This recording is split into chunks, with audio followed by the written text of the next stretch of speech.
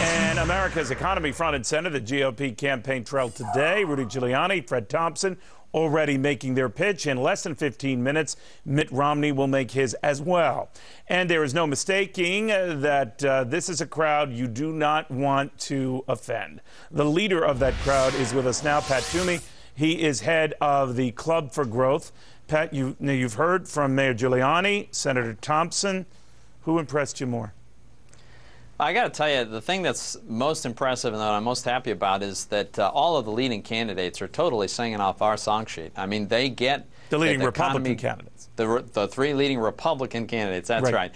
They want to make the Bush tax cuts permanent. They, they all observe that our corporate tax rate is uncompetitive. It's too high. They have different ideas, but meaningful ideas about getting spending under control. They're all for free trade. They understand that we've got to fight back this protectionist impulse. So these guys know what it takes to grow the economy, and I'm, I'm really very pleased that they're uh, leading with such an aggressive pro-growth message. All right. Um, the only guy who has signed on to a no tax hike pledge, though, is uh, Mitt Romney.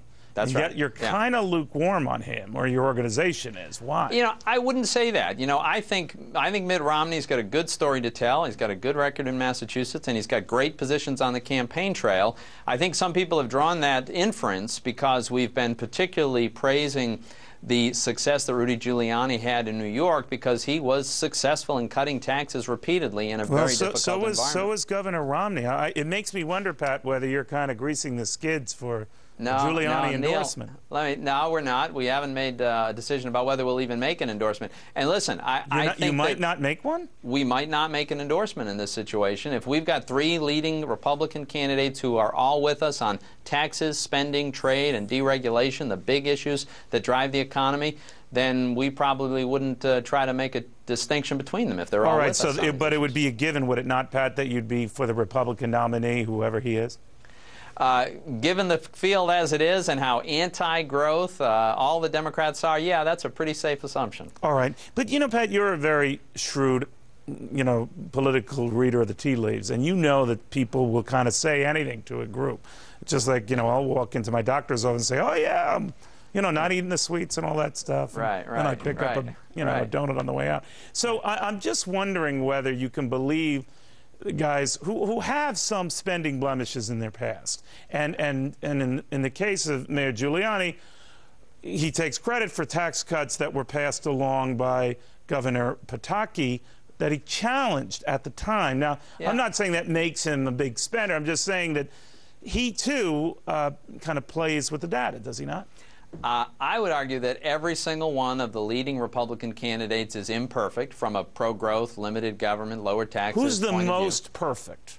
Uh, you know, I, I, am not. I don't know that you can say. I would have to say. You sound like you're for Giuliani. You sound I like think, you're for Giuliani. Uh, let me tell you. You sound like you, a Giuliani guy. Rudy Giuliani accomplished more cutting taxes than anybody else in a very difficult environment. Uh, I think that, you know, I think we got to give him credit for that difficult environment which he did that. But right now, these guys all understand that we need to keep taxes low, in fact, go after excessively high corporate taxes and others. They're all free traders. They're all on the right so you're giving up right on now. this pledge thing. If only one of the guys is going to give you the no you tax know, rate, you I'd, said, ah, enough like, of it. I'd like to see them all take right. that pledge, but I think if you look at their records, none of these guys. Rudy Giuliani said something today which was new and I think is important, and he the said Social Security unequivocally, thing, right? no tax increase is part of Social Security reform. That was very good to hear. He well, also I said the same about. Accounts. I tell you, I said the same about croissants, Pat. But I'm telling you, we got to. There's a difference between saying something and doing There it. There is, we'll absolutely right. All right. I, I, I, think I think there's a pretty good record to back it up. But again, I'm impressed with Fred Thompson and Mitt Romney too. Ah, you're covering your bets. All right, Pat. Thank you very very much. Thanks Pat Toomey, the Club for Growth president. Very very interesting.